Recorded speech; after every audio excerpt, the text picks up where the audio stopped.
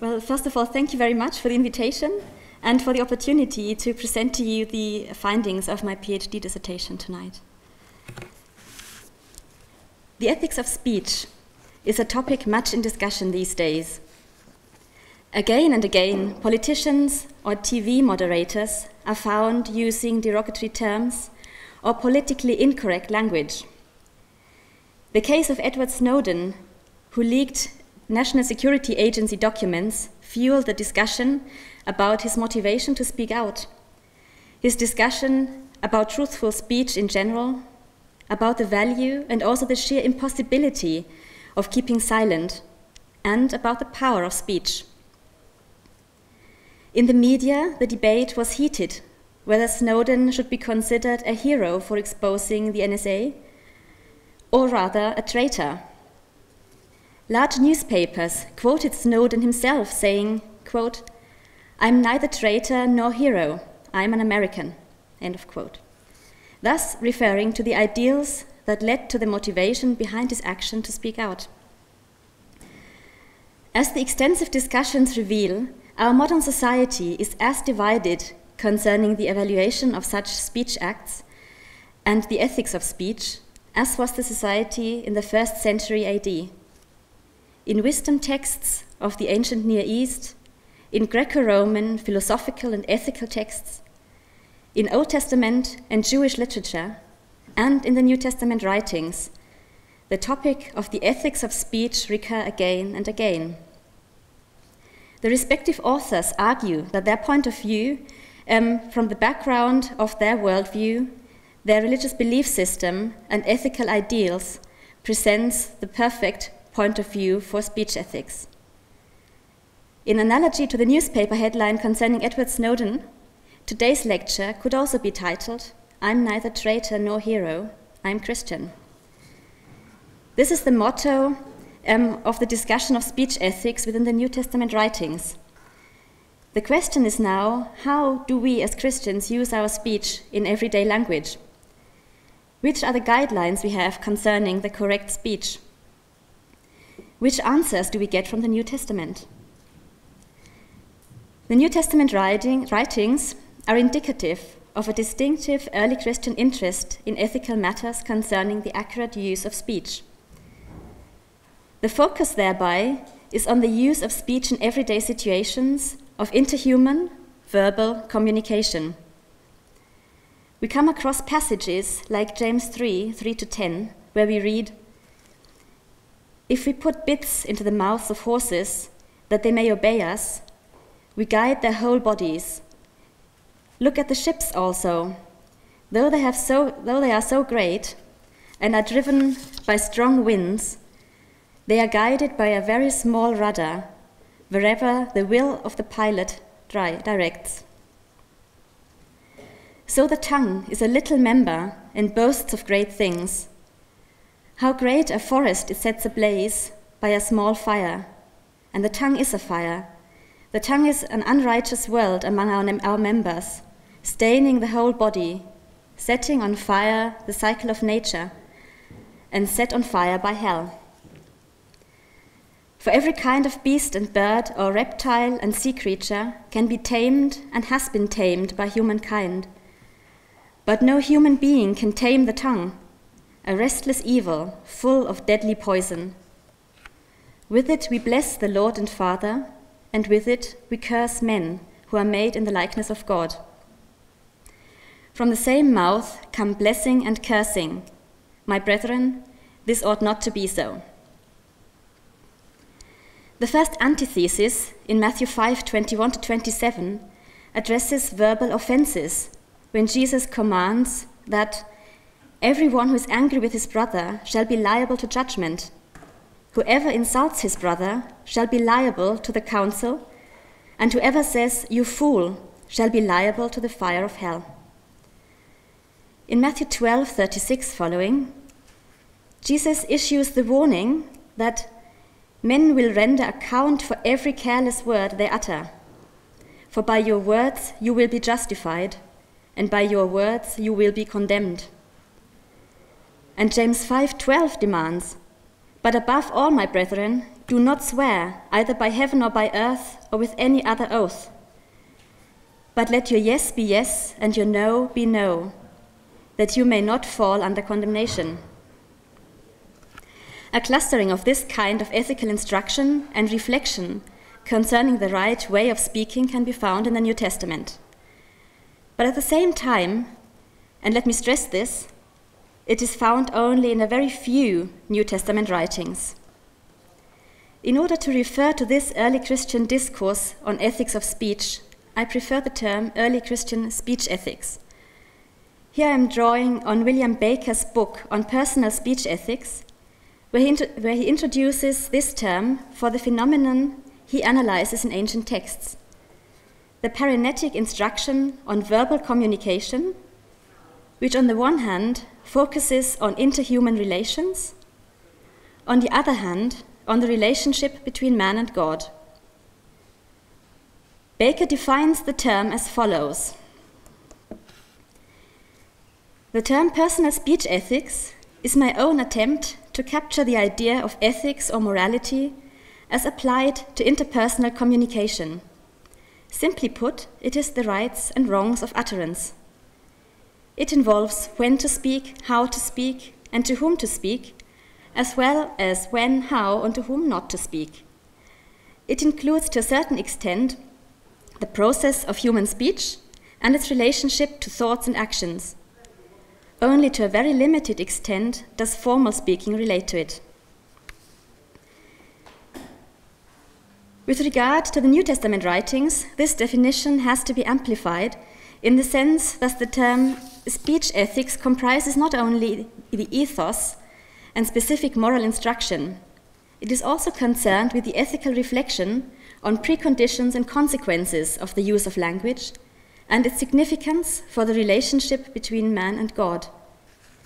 Hence, the term speech ethics covers ethical paradigms concerning speech in interpersonal relationships, including the anthropological and theological preconditions and consequences.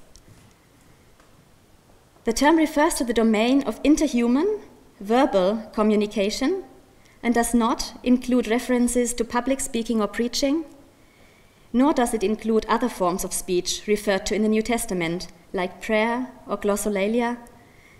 Speech ethics is also neither concerned with the relation between signs, that would be grammar, nor with the relation between the signifier and the signified, which would be the philosophy of language, nor with the effective transmitting of a message, which would be, would be rhetoric. Hence again, speech ethics covers ethical paradigms and moral advice concerning speech in interpersonal relationships, including the anthropological and theological preconditions and consequences. The discourse on speech ethics in early Christianity, as we can derive it from the New Testament writings, is embedded in the discourse on speech ethics in antiquity in general. Moreover, needless to say, if we look at a certain number of New Testament writings, we will also find a number of different positions concerning speech ethics, concerning the preconditions, the ability to use speech adequately, and the consequences of the right use of language. In order to identify the New Testament discourse on speech ethics, it is therefore necessary to describe and distinguish the discourse positions of individual New Testament authors as well as their interrelatedness and interaction with each other, and with the wider discourse on speech ethics as found in ancient literature, for instance, in Greco Roman literature, especially in the works of Plato, Aristotle, Plutarch, Seneca, and Epictetus, in Old Testament and early Jewish, as well as, well as Qumran writings, analyzing individual New Testament writings concerning their speech ethical instructions provides insight into their notion of the effects of speech. Um, that is, the theological and anthropological aspects underlying the speech ethical conduct. And it may answer questions like which consequences does unethical use of speech in interpersonal communication have for the speaker's relationship with God and for his prospects concerning the afterlife? How does unethical use of speech affect the speaker's everyday life and his relation with his contemporaries. Besides analyzing the discourse position of individual New Testament authors, another interesting aspect is to try and get a picture of the overall New Testament discourse on speech ethics based on the various discourse position of the analyzed New Testament writings and the, to position this New Testament discourse on speech ethics within the discourse of early Christianity and classical antiquity in order to identify the interaction of the New Testament discourse with the contemporary speech ethical discourse. Reading through the New Testament and searching for explicit speech ethical instruction, it becomes obvious that only a few aspects of the use of speech seem to be relevant, and that only a few New Testament writings are interested in speech ethical instruction. Primarily, three New Testament writings are involved in the discourse on speech ethics the Gospel of Matthew, the letter of James, and 1 Peter. The pastoral and the letters to the Ephesians and Colossians reveal an interest in the transmission of speech ethical topics, but merely reflect marginally on the ethics of speech.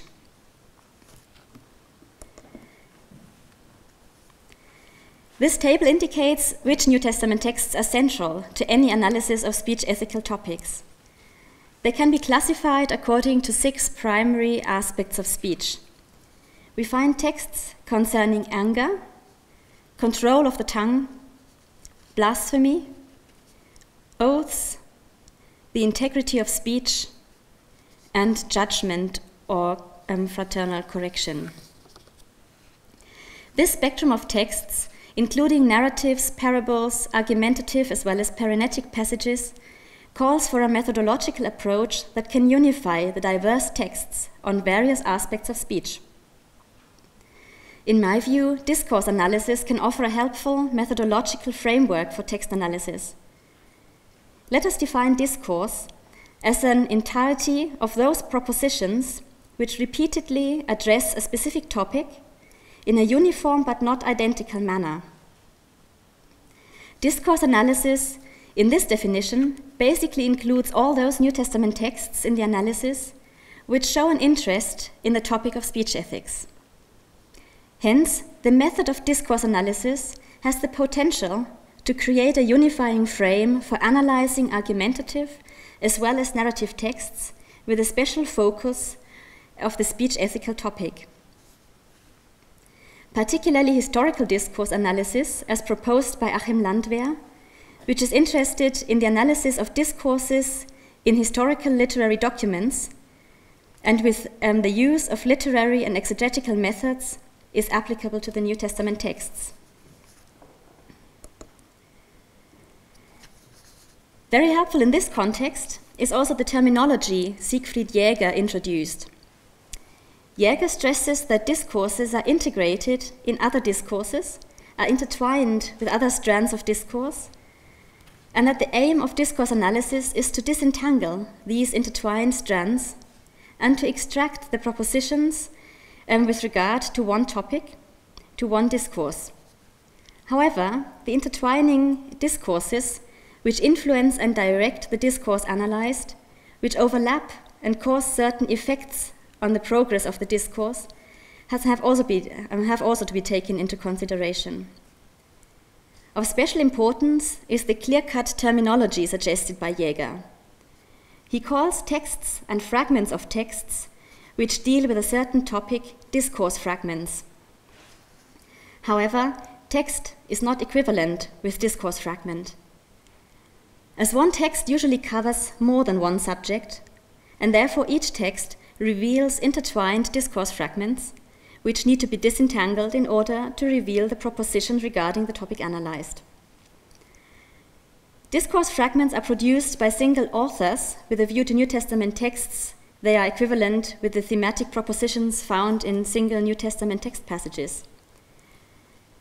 Discourse positions signify the ideological position of the author um, who partakes in the discourse, and um, they are derived from several discourse fragments this would be the, the positions one. Um, th this would be the positions on speech ethics of the authors of the New Testament. Within one discourse, they are usually homogeneous, though not identical, differing propositions constitute the counter discourse. Strands of discourse are identified as the sum of the propositions of several discourse fragments, which comment on one subject. The New Testament strand of discourse is, is composed of the New, New Testament discourse positions. Often, several strands of discourse concerning different um, topics can be found intertwined and have to be disentangled. All strands of the discourse concerning one topic constitute the discourse in society as a whole. The New Testament strand of discourse can thus be situated within the discourse on speech ethics in antiquity by comparing it to the strands of discourse found in the Old Testament, Greco Roman literature, etc. According to Jäger um, and his terminology, discursive events are events which influence the discourse directly in the New Testament, this would, for instance, be the Christ event um, as the basic discursive event. All speech ethical admonitions are based on the assumption that conversion requires a different comportment in accordance with the will of God. Thus, the discourse on speech ethics is entangled with the discourse following from the Christ event. The focus of any discourse analysis hence starts out with the discourse fragments, tries to reconstruct the discourse positions of the New Testament authors, and then the New Testament strand of discourse, which then has to be positioned within the discourse of society as a whole. The aim is to allocate different discourse positions to strands of discourse and to position the New Testament strand of discourse within the ancient discourse on the topic of speech ethics. Discourse analysis therefore serves, on the one hand, to expose the discourse positions of a subject or group, and on the other hand, it accomplishes an interpretation and critical evaluation of the positions and positions as well as the means and strategies used to convey them. Let us first look at what the Gospel of Matthew has to say on speech ethics, on the preconditions and consequences of human interpersonal speech. In Matthew, ethical reflection on speech can primarily be found in the Matthean Sondergut and in pericopes which testify to Matthean redaction. It may therefore be concluded that Matthew has inserted, or at least emphasized, the speech ethical aspects into his textual sources by redaction. Matthew recurs to the topic of speech and emotions, especially anger, oath, judging, fraternal correction, and to the importance of integrity and the inner disposition of man for the use of language. Matthean ethical reflection and admonition concerning speech focuses primarily on the formation of the addressee's disposition rather than on specific speech ethical regulations. Therefore, abstract programmatic presentation of the prerequisites for the, um, and the consequences of the right use of speech dominate um, specific speech ethical instruction. In Matthew 5 21 to 26, um, the first antithesis Anger and its verbal expression in the form of invectives is addressed. We read, You have heard that it was said to men of old, You shall not kill, and whoever kills shall be liable to judgment. But I say to you that everyone who is angry with his brother shall be liable to judgment.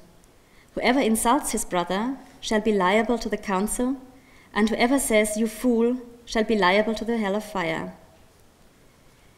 So if you are offering your gift at the altar, and there remember that your brother has something against you, leave your gift there before the altar and go.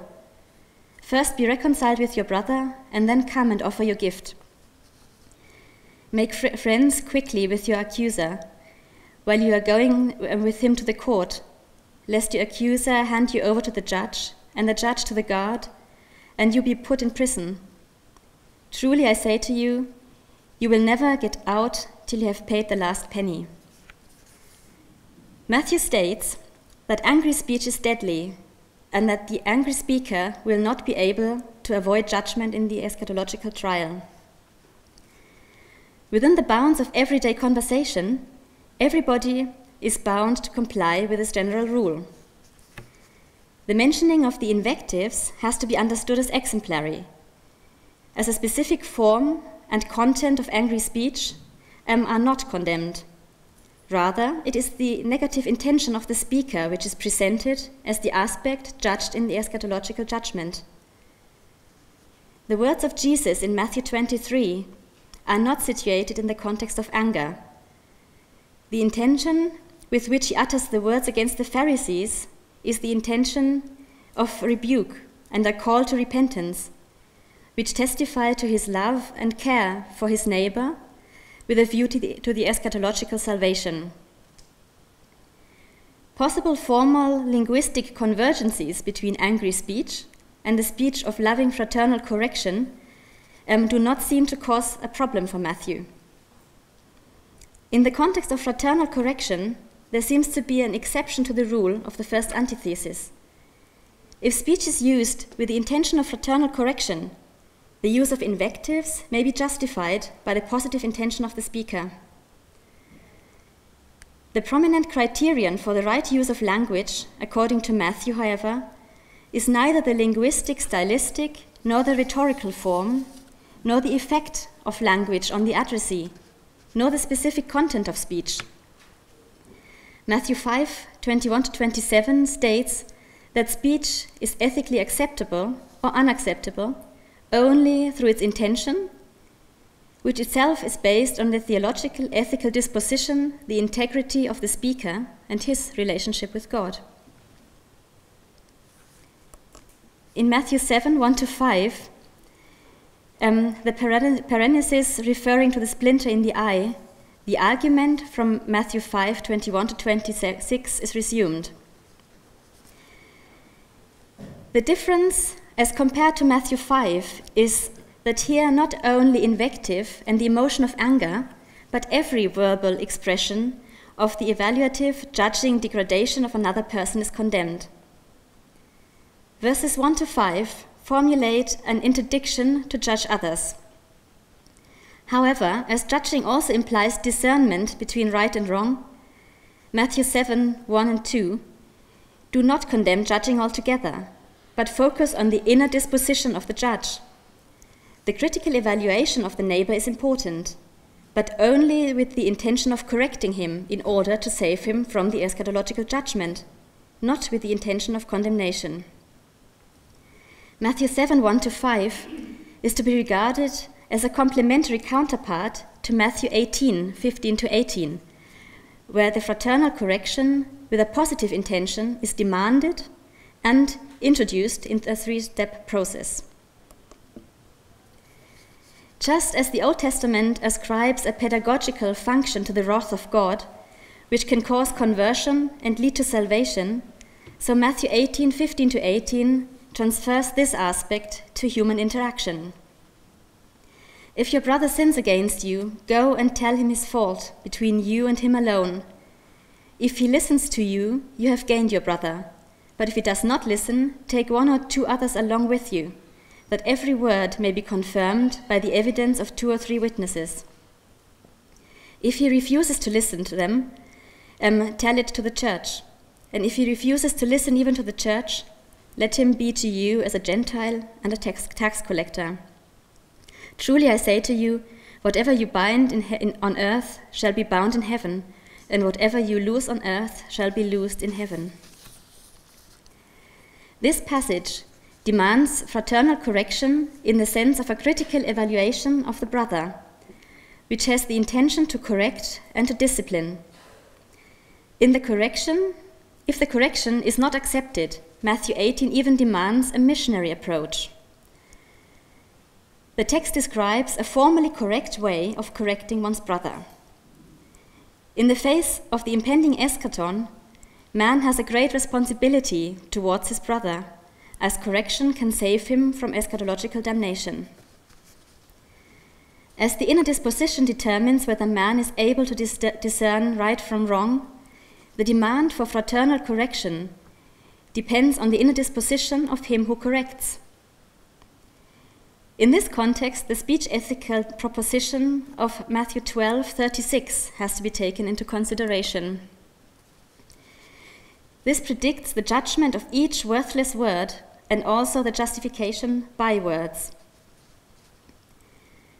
This leads to the conclusion that the failure to render correction is equivalent to the acceptance of the possible eschatological condemnation of the brother due to verbal transgressions a failure which would testify to a lack of brotherly love. This, however, means that invectives may have to be used in order to correct the brother, to correct him effectively, and thus to save him from eschatological judgment.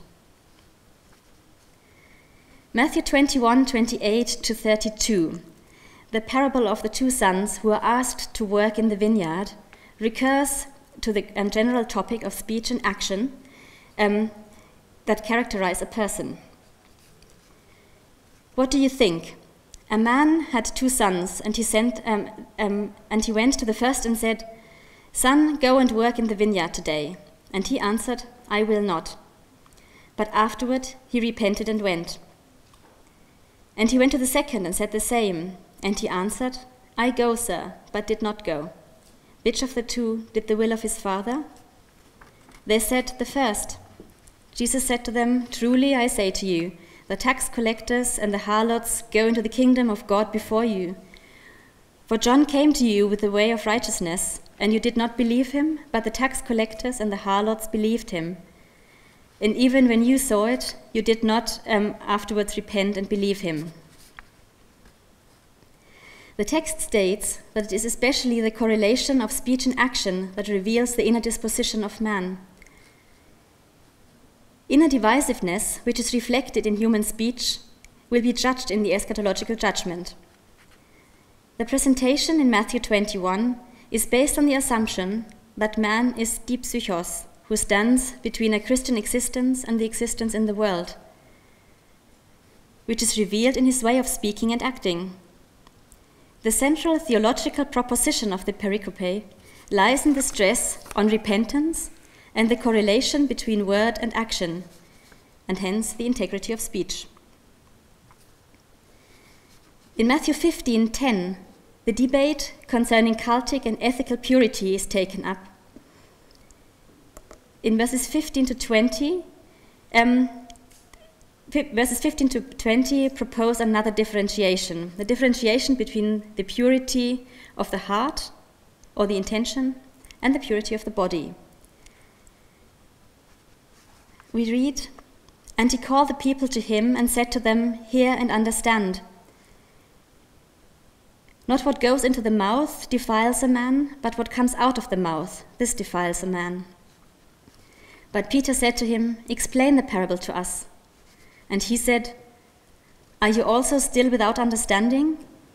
Do you not see that whatever goes into your mouth passes into the stomach and so passes on? But what comes out of the mouth proceeds from the heart, and this defiles a man.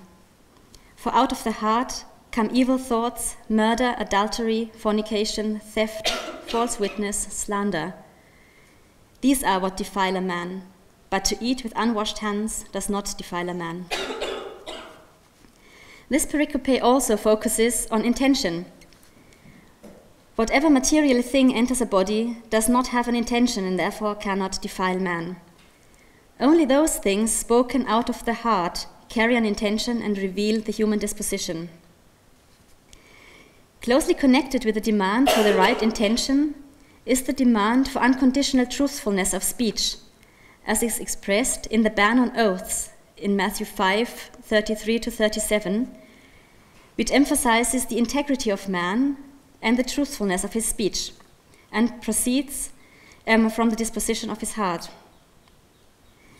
The status of the addressees within the kingdom of God, the new creation, um, renders lies unnecessary, and therefore also the practice of oath taking, which commonly serves as a cur to curb lying and untruthfulness. Even emphatic formulaic assertions become redundant.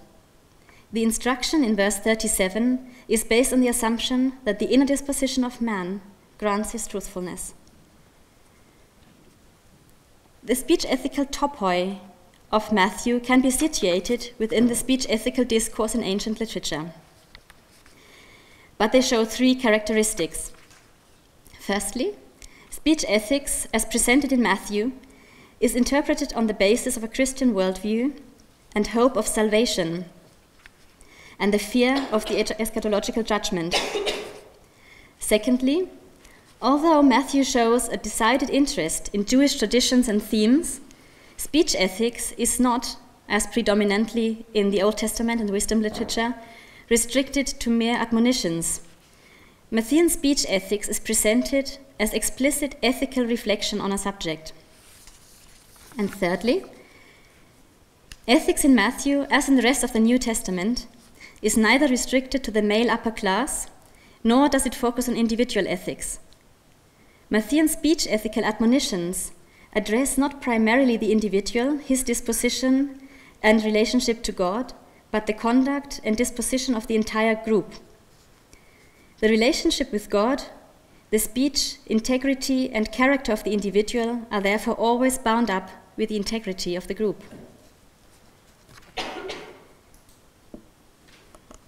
Four important aspects of ancient speech ethical discourse are not found in Matthew the aesthetics of speech, obscene speech, the control of the tongue, and the importance of silence. The topos of the control of the tongue, which is very important in ancient literature and often even leads to the propagation of an ethics of silence, may be alluded to in Matthew 5 in the prohibition of angry speech um, and of invectives, or in the proposition that every word will be judged in Matthew 12. However, Matthew seems to allow for the possibility that through the formation of the disposition of man, he is enabled to a right use of speech, which is absolutely directed by the will of God. That might be seen from Matthew 10:19.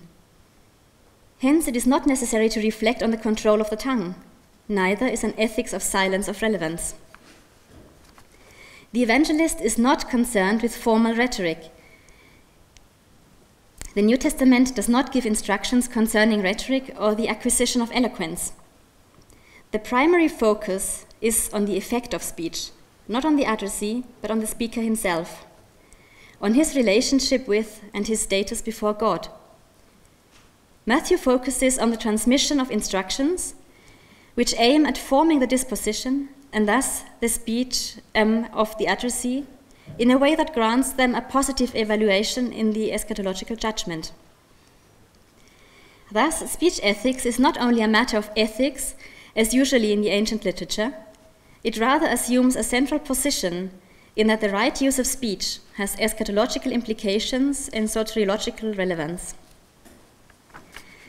Speech ethical texts occur over the whole of the main part of the Gospel which is due to the fact that speech ethical instructions are, inscri- uh, are ascribed to the teaching authority of Jesus. They form a net of speech ethical instruction which spans the whole main part of the gospel. Internally, they show close connections. For instance, Matthew 5, the chronologically first mention of the topic, introduces aspects which are taken up in Matthew 23, the last mention of the topic. In Matthew 5, instruction is given in the form of a programmatic presentation of Matthean ethics. In Matthew 23, in form of an application of the teaching within the reproof of the Pharisees.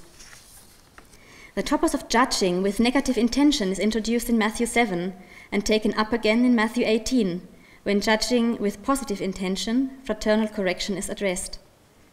The ethical consequences of the new status of the addressees and the importance of the disposition as predisposition for right speech is thematized in argumentative form in Matthew 12 and recurred again in Matthew 21 in narrative form.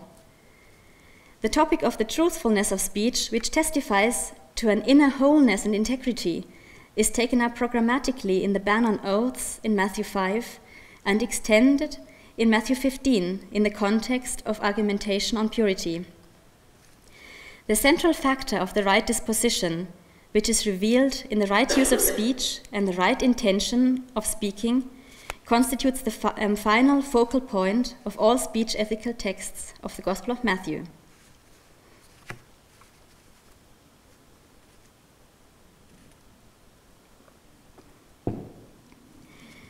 The speech ethical discourse is even more prevalent in the letter of James, the entire text is pervaded by the discourse.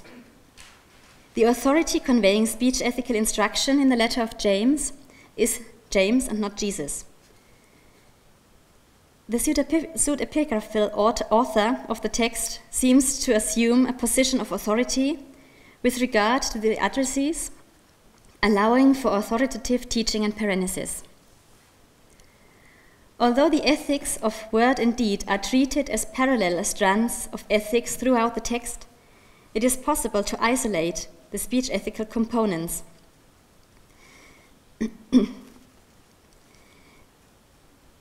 a prerequisite for understanding the speech ethical instruction in James is a grasp of the underlying worldview and anthropology as it is used as a frame, for a frame of reference throughout the letter and substantiates the argument that man is generally capable of right speech ethical conduct. The first important text of the letter is James 1 17 to 27. Every generous act of giving, with every perfect gift, is from above, coming down from the Father of lights, with whom there is no variation or shadow due to, uh, um, due to change.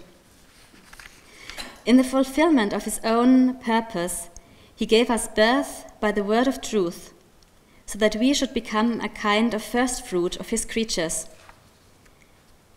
You must under understand this, my beloved.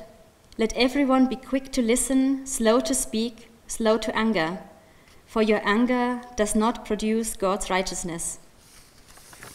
Therefore, rid yourself of all sordidness and rank growth of wickedness and welcome with meekness the implanted word that has the power to save your souls. From this text, we can derive the following conception. Christian existence begins with the plant- implanting of the logos aletheias, the word of truth, James 1:18. From this point onwards, Christian existence is considered as an existence um, as the first fruits of the new creation. So, in a way, first fruits, um, uh, first fruits of a new creation. In this state, man is capable of correct conduct, but is always tempted and often fails. Thus, Christian existence is regarded as moving towards the eschaton, meandering between two poles of correct and wrong ethical conduct. The implanted logos may be associated with the gospel, the Christ event, and its consequences, which has the power to save your souls, 121, which was given by God without any preconditions, 117 and 18, which adds man to, new, to, the, new, to the new creation, 118. However, faith does not necessarily lead to good words um, and correct ethical conduct. In James 1 22 to 27, we read, But be doers of the word, and not merely hearers um, who deceive themselves. For if any are hearers of the word and not doers, they are like those who look at themselves in the mirror. For they look at themselves and going away immediately forgot what they were like. But those who look into the perfect law, the law of liberty, and persevere, being not hearers who forget, but doers who act. They will be blessed in their doing. If, the, if any think they are religious and do not bridle their tongues, but deceive their hearts, their religion is worthless. Religion that is pure and undefiled before God the Father is this to care for orphans and widows in their distress, and to keep oneself unstained by the world. This text assumes that correct conduct is possible, as believers have discarded wickedness of the, the wickedness of the old self in meekness, as we read in James 1:21, and are freed from their former status amongst fallen creation, at, le- at least as long as they have accepted the implanted word and belong to the new creation, and are hence able to act according to the law of creation, um, the gospel or the perfect law, the law of liberty, 125. In this world, both old and new creation exist alongside each other, as can be derived from the passages concerning temptations in James 1 2 to 16 and concerning desires in James 4 1 to 4. Therefore, the correct conduct is repeatedly challenged.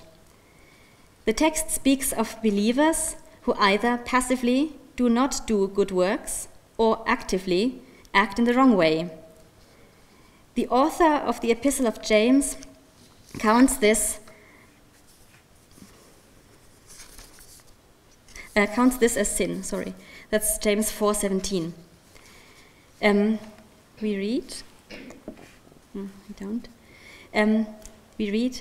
Anyone then who knows the right thing to do and fails to do it commits sin he admonishes his readers to do and speak in the right way by reference to the eschatological judgment. That's James 2:12, as you can read. Um, so speak and act as those who are to be judged by the law of liberty. For judgment will be without mercy to anyone who has shown no mercy. Mercy triumphs over judgment.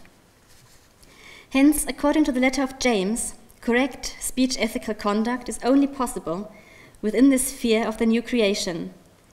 The believer, however, lives in the world, but is at the same time in the sphere of the old creation, where the peirasmoi are influential.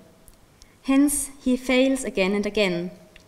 In entering the new Christian existence, man does not undergo an ethical transformation, but merely enters the sphere where right conduct is theoretically possible and the continual striving for the right conduct in word and deed continues, but now with the perspective of success. Let us now go through the letter um, chronologically in order to establish the speech ethical position of the letter of James. Assuming the epistle is addressed to an early Christian congregation and addresses believers, speech ethical admonition begins with an exhortation to those who have transgressed too far from the word of truth, the logos aletheias, and have reverted to the sphere of the old creation. They are addressed in James 1:21. You can see it there again. And they are admonished to, dis- to discard all wickedness and to accept anew the implanted word, the emphytos logos, in meekness and humility. Then correct conduct in word and deed according to the law will once again be possible. Hence, James 1 19 to 27 drafts the fundamental statement that man has to align his speech with the Logos in order to use speech in accordance with the law of God, which is the essential criterion in the last judgment. That's verse 21. In James 1:19 to 27, the author assumes the situation that the speech is not aligned with the law. In verse 21, therefore, um, he conveys an exhortation to discard in meekness all evil and wickedness, which is still manifest in words and deeds, and to accept the implanted logos, that is, the word spoken in the gospel, like verse 19 and 21. Even in the structure of the letter, the implanted word precedes the demand to speak and act according to the Logos, which finds expression in the observance of the Christian law, like the nomos. Anger is mentioned as an example for speech which is not in accordance with the Logos. In verse 26, we find a reference to the unbridled tongue, which will be elaborated on in James 3. Like Matthew, the author of James advocates a definite condemnation of human anger. Correct use of speech is speech without anger, which is possible as long as human existence is lived within the sphere of the Logos. Let us now have another look at another important text of the letter, James 3 1 to 12. I'm not going to read it all because I've read it in the beginning. Um, James 3 opens the discourse with a statement that all of us fail in words. Everybody except the perfect man, the teleios aner 3:2. The following anthropological and theological argumentation functions as substantiation, substantiation for the ethical argumentation in James 1 19 to 27, in explaining the possibility of influencing the use of speech in the light of the Christ event and creation theology. In an elaborate ekphrasis, the author presents four images or metaphors to illustrate the character of the untamable tongue and to end in the paraenesis that, is, um, that it must not be that blessing and curse originate from the same mouth, as this conduct is unnatural. The examples are explicitly taken from nature to emphasize this unnaturalness. This implies the admonition to alter and to amend this conduct. The text conveys here two seemingly contradictory statements. On the one hand, the tongue is characterized as untamable. On the other hand, this state is identified as unnatural and admonished to be altered. A solution to this dilemma might be found on an anthropological level when, regard, I mean, when reading the text within the context of James's statements about the old and new creation. As expounded, James explains the possibility of ethical speech not explicitly but associatively, through the new creation, through the word of truth. The addressees are counted among the first fruits of the new creation and hence revert to an uncorrupted state. This is why they are capable of using speech in an adequate manner.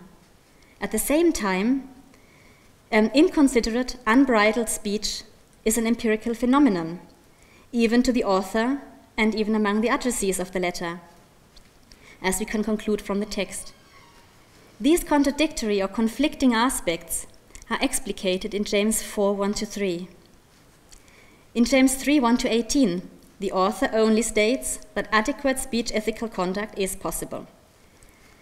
How this conduct comes about is explained in James 17 to 20, uh, James 1 19 to 27 through the renewed acceptance of the emphytos logos, the implanted logos, and are life in accordance with the Logos Aletheias, the word of truth. The believer, hence, is only part of a new creation and lives an ethical life according to the law when he is in an inner condition that the implanted word is present and applied. However, the author is realistic enough to open his argumentation to empirical observation, for even the perfect man is only attested to be able to bridle the tongue temporarily but not to tame it. The influence of the world and the desires are too powerful. Therefore, the repeated conversion or return to the word and of the, of the law is necessary in order to ascertain the right ethical conduct. In difference to the linear conception of learning in the Old Testament wisdom, the letter of James presents a circular process. Through the word of truth, the Logos Aletheias, Man is endowed with a power which allows the control over his emotions. James 3 explicitly mentions the human will, hame, as a means of control, and yet there is no explicit commandment to the control of the emotions. The following part of the letter provides concrete speech, speech ethical admonitions. James 5:12 elaborates on the truthfulness of man and the reliability of his word. In analogy to the passage in Matthew, the text demands clarity of speech and an unambiguous disposition. If speech is unconditionally truthful, oaths are redundant. In James 1:26, the topic of the correct ethical conduct is combined with a discourse on speech ethics. Speech can be evaluated as ethically or morally pure or impure depending on whether it is aligned with the rules of the discourse. Speech can defile the speaker and can influence his relationship with God. The letter of James presents this in an argumentation and through defiling language that, that, through defiling language the speaker accepts the value of the world. In the same breath, the author admonishes the addressees to dissociate themselves from the world in order to avoid conduct that is out of place within the sphere of the new creation. The disparity between the Christian sphere and the world is mirrored in the dividedness of the personalities and hearts of men, who believe that they are focused on God and His service, but have their illusion shattered by the author who tells them that they are deceiving themselves. This self deception and dividedness can only be overcome by prayer and God's gift of wisdom. That's James 1 5 to 9. This aspect of ethics may be termed ethics of disposition. It is an ethics that focuses not merely on action in word and deed, but on a deeper level, on the inner disposition of man, which is the cause and origin of all action. James 3 9 to 12 takes up this topos very explicitly. Man is portrayed as divided in heart between right and wrong conduct. His disposition is volatile and faltering, and in dire need of transformation. The dividedness of man is mirrored in his conduct. The author shows that in the sphere of the new creation, this conduct is inadequate and unnatural. The passage James 4:11 and 12 elaborates on the topic of inadequate speech by introducing the aspect of judging.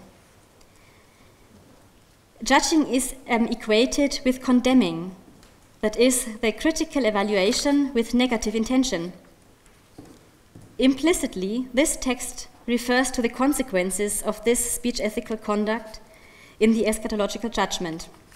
This is followed by an explicit, unconditional prohibition to surpass the human um, competencies and to condemn the neighbor. The text does not show any reference to interhuman admonition. In interhuman speech, the critical judgmental evaluation is condemned. Positive admonishing evaluation, on the other hand, is considered necessary, for instance, in the form of the epistolary paraenesis, as well as in interhuman contact with the Christian community.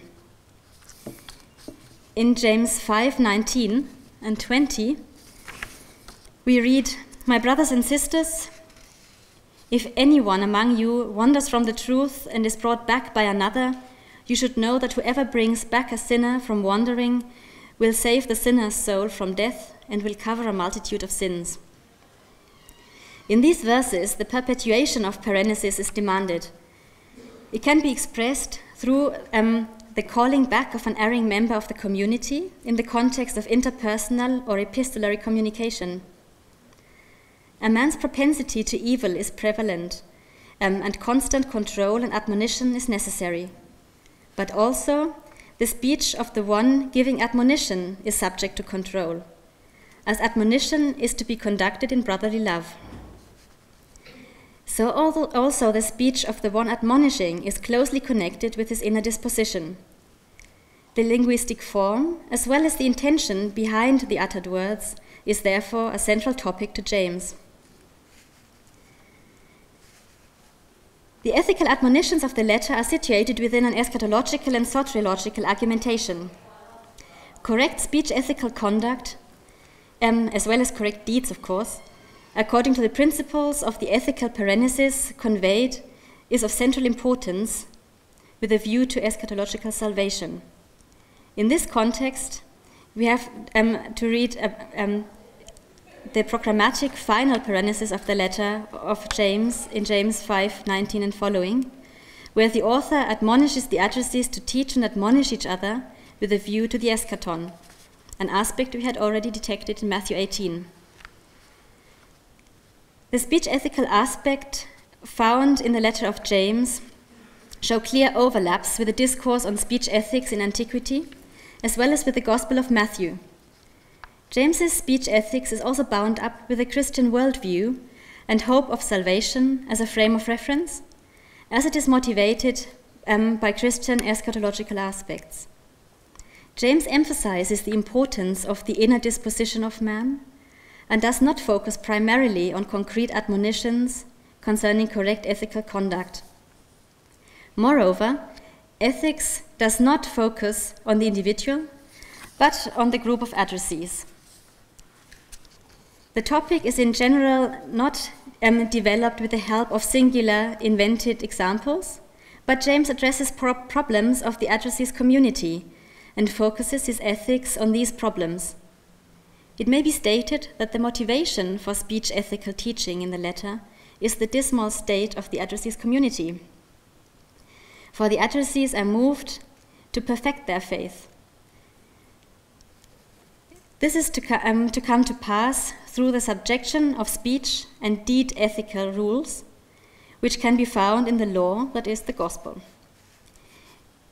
Ethics of speech is hence conveyed on three levels in the letter of James. Firstly, on a meta level in the form of a general argumentative paraenesis in James 1 19 to 27, in which the author appeals to the addressees to live a life of right ethical conduct. Secondly, he applies a theoretically substantiating discourse in James 3 1 to 18, in which possible objections to his admonitions in chapter 1 are countered. And thirdly, in a series of concrete speech ethical admonitions in chapters 4 and, um, 4 and 5, which motivate the addressees to the correct conduct by embedding the admonition within the eschatological framework. Due to, to, the constraints of time, I shall not be able to go deeper into the texts of further New Testament writings, um, which present similar speech ethical discourse positions. To just give a short overview, the first letter of Peter. Um, the first letter of Peter takes up the speech ethical matters, but with a decidedly different approach. The addressees are instructed to speak in a manner that represents the Christian community in a positive light to the surrounding world. The aspect of interpersonal consequences or of consequences for the speaker's relationship with God are not touched upon the epistle to the Ephesians and the epistle to the Colossians and the pastorals adopt single topoi of the ancient discourse on speech ethics. They especially focus on specific examples and admonitions of inadequate use of speech. Although they are apparently aware of the speech ethical discourse, they partake only partially in it, and the mere aspects of speech ethical discourse taken up do not allow um, um, to form a discourse position in these writings. A similar picture can be seen in the Didache, where instances of the reception of a speech ethical discourse can be observed.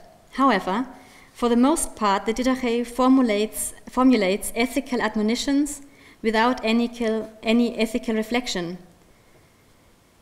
The reception of the broad spectrum of speech ethical topoi in the Didache, for instance, oath, truthfulness of speech, the importance of the disposition, lies, brotherly correction, angry speech, hypocrisy, etc., may indicate that the Didache originated within the same tradition as Matthew and James, the two writings in which speech ethics play a prominent role.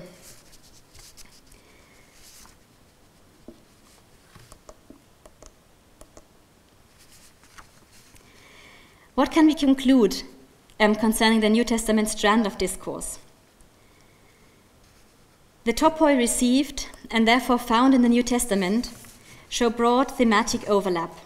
Angry speech, the aspect of the evil of the tongue, control of the tongue, examples of inadequate or wrong use of speech, truthfulness and integrity of the person in speech and action, as well as the complementary topoi of judging and fraternal correction, are taken up repeatedly in the New Testament writings and form the pillars of the New Testament speech ethical discourse.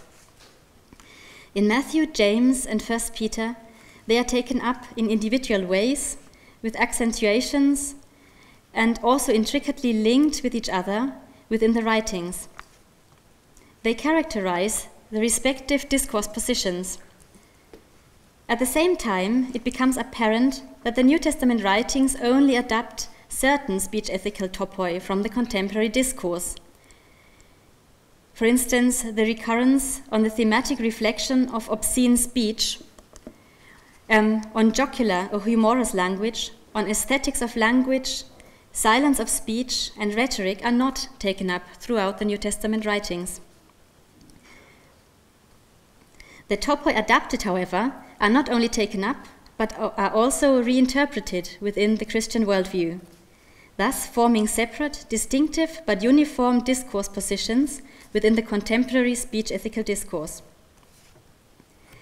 The New Testament writings demand a use of speech which, through, through the reception within the Christian worldview and the Christian ethical context, is opposed to the speech ethics of the ancient world.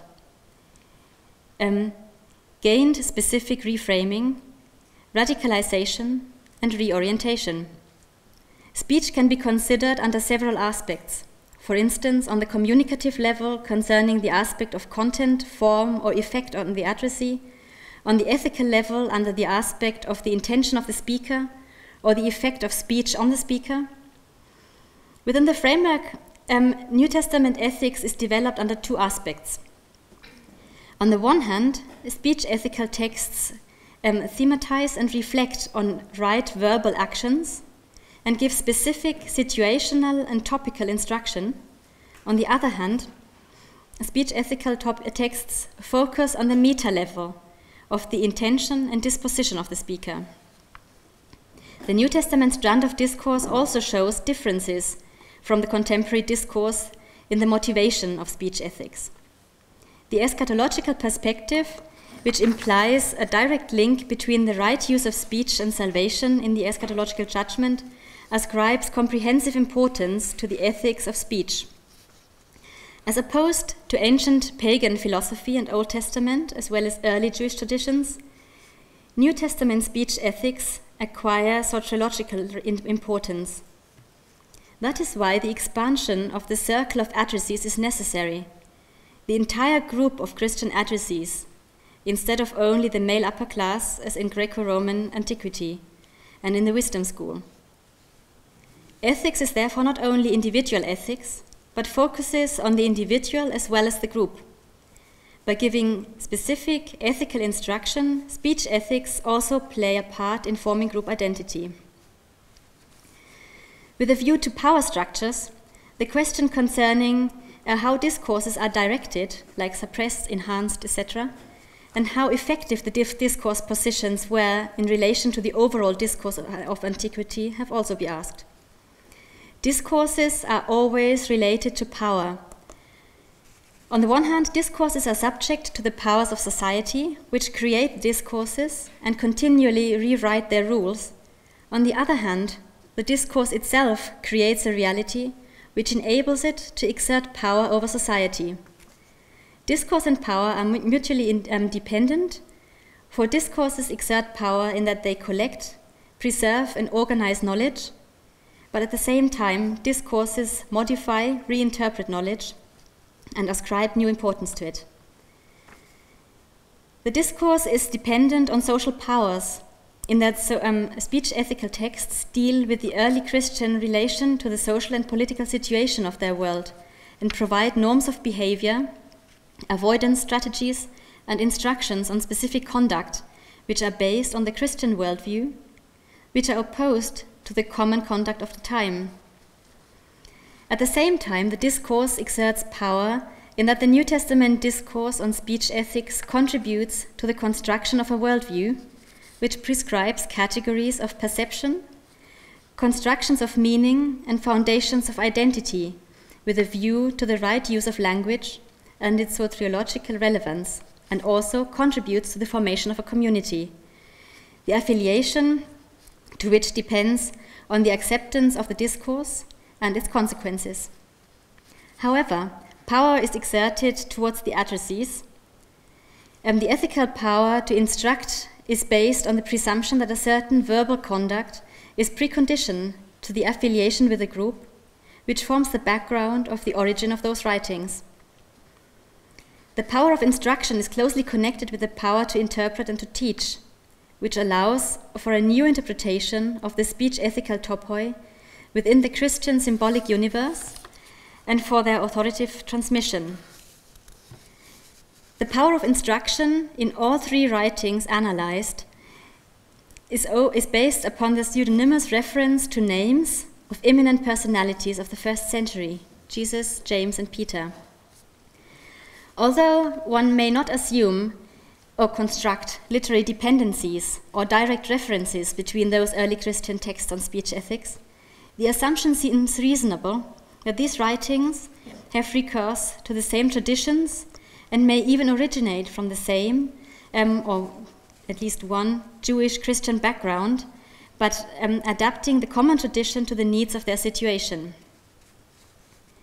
In New Testament scholarship, James and Matthew are commonly said to have originated from a Jewish Christian background.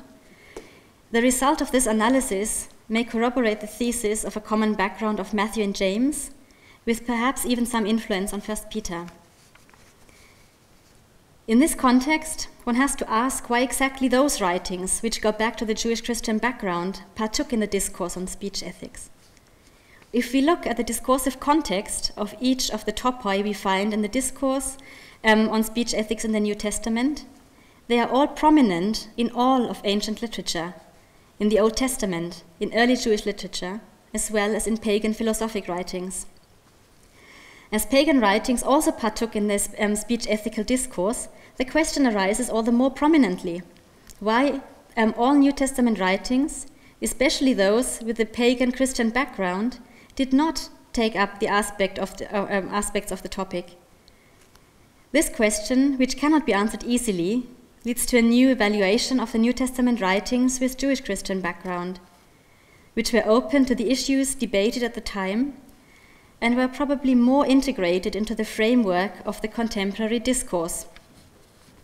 They show a much higher ability to be open to connecting with the contemporary society than the rest of the New Testament writings. The reason for the reception of speech ethics in Matthew, James, and 1 Peter might be found in the fact that the topics of right speech and the right use of language was, was a prominent topic in the Old Testament and early Jewish um, wisdom literature. Maybe the authors of these writings, which seem to be characterized by the Jewish context and thought world, regarded the high significance of speech in their culture as relevant enough to transfer it to their early Christian writings.